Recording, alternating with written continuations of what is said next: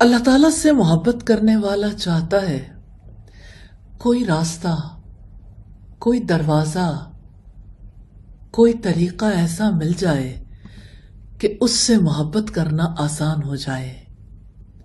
अल्लाह ताला की मोहब्बत दो तरह से हासिल होती है। ये दो दरवाजे हैं। पहला दरवाज़ा है अल्लाह ताला के इनामात का, उसके एहसानात का।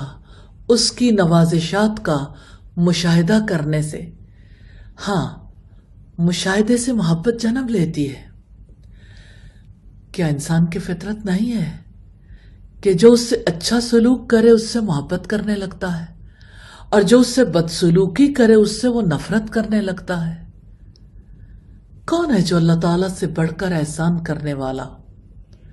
बंदे पर उसकी जनाब से कब एहसानात नहीं होते? अल्लाह ताला सबसे बढ़कर एहसान करने वाला है। हर आन, हर लम्हा एहसानात करता है। और तमाम हालात में बंदा अल्लाह ताला के एहसानात में ही गर्दिश करता रहता है। उसके इनामात का शुमार तो बहुत दूर की बात है। उसने फरमाया वन ताउद्दूनमतल्लाही ला तुखसूहा। तुम अल्लाह ताला के इनामात को गिनना चाहो, नहीं गिन सकते। इन इनामात में से एक अजीम नेमत सांस है। इंसान एहसास ही नहीं करता। हालाँकि दिन रात में चौबीस हज़ार दफ़ा इंसान को यह नेमत हासिल होती है। ऑलमोस्ट चौबीस हज़ार दफ़ा वो सांस लेता है। यानी एक सेकंड में कितनी मरतबा और एक मिनट में ऑलमोस्ट एक मिनट में इंसान को 1440 मरतबा और फिर दिन रात में चौबीस हज़ार मरतबा का ये सांस बनता है। इंसान को समझ भी नहीं आती, वो शुमार भी नहीं कर सकता, कितनी बार बाहर निकला सांस, कितनी बार अंदर खींचा हर सांस अल्लाह ताला की तरफ़ से नेमत है। अब बाकी नेमतों के बारे में सोच के देखिए। हर नेक और हर बद के लिए नेमते हैं। रसुल्लाह ने बादलों को देखकर फरमाया था, ये ज़मीन को सैराब करने वाले हैं, जिन्हें अल्लाह ताला ऐसे लोगों की तरफ़ चला रहा है, जो उसका ज़िक्र करते हैं ना इबादत। अल्लाह अकबर। सही में है आपने फरमाया, तकलीफ़ दे बात सुनकर अल्लाह ताला से ज़्यादा बर्दाश्त करने वाला कोई नहीं। लोग अल्लाह ताला की औलाद करार देते हैं और वो उन्हें रिस्क और आफियत अता करता है।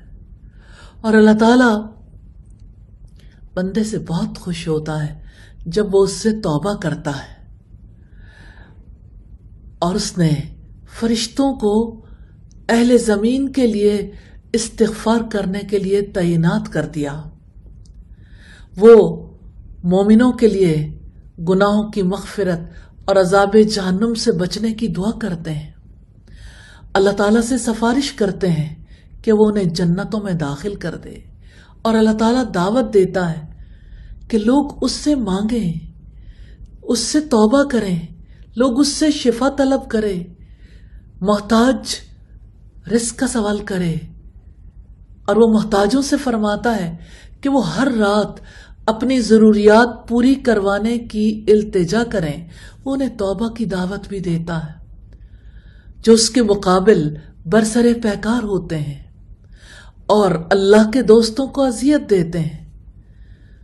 तो अल्लाह ताला से उसके एहसानात की वजह से मोहब्बत करनी चाहिए।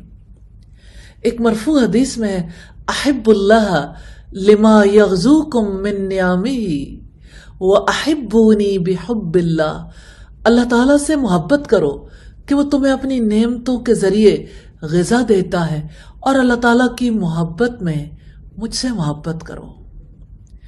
जब कोई पहले दरवाजे से दाखिल हो जाता है ना तो उन्हें दूसरे दरवाजे में दाखिल होने की दावत दी जाती है, और वह है अल्लाह ताला के असमाओ सिफात का दरवाज़ा।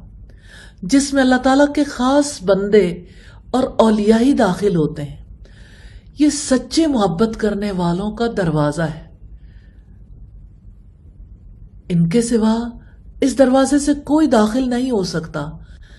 इस दरवाजे से गुजरना असमाओ सिफात